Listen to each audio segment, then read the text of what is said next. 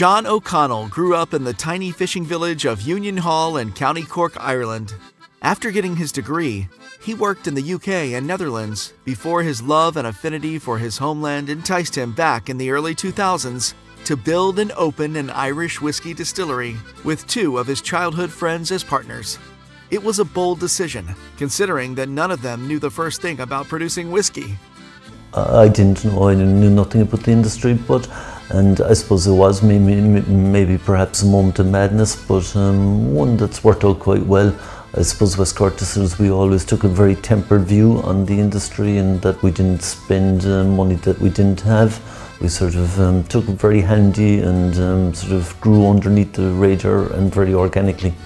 West Cork is a very particular place, um, you know, a place of great heritage in terms of food and beverage production.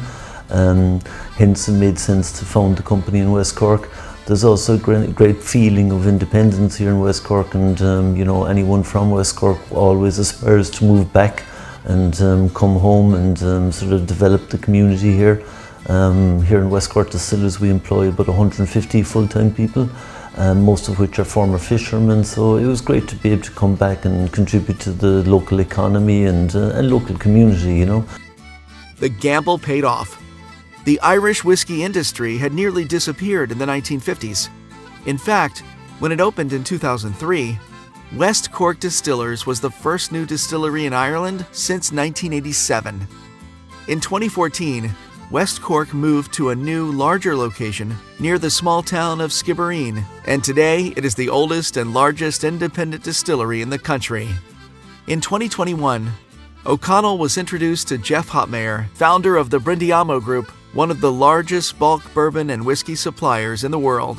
Because of our strategic relationship with West Cork, uh, John, the CEO of West Cork and owner, um, we have a great relationship there and utilize him. And, and again, you know, our own Brindiamo's own dedicated warehouse on site is, is a big deal. I don't know of others here that are similar to what, we, what Brindiamo does that have their own dedicated warehouses on site um, that have made that investment uh, for the future. I, I, I, don't see it, I don't think it exists. Um, the warehouses, um, we've got a number of warehouses um, scattered across County Cork. Um, the Brindiamo warehouses are located here in Skibbereen.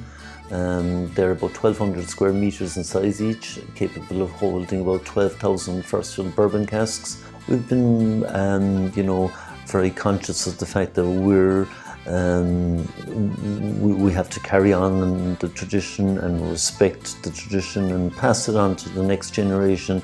You know, you have to be respectful and thoughtful to the um, the heritage there, but also, you know, continue to innovate and to bring new consumers to the table. You know? His story of West Cork uh, is really great.